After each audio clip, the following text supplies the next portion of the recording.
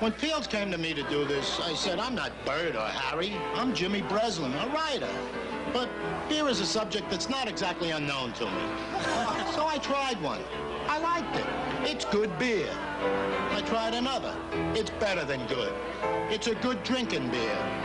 That's how I describe Piels. It's a good drinking beer. Piels, it's a good.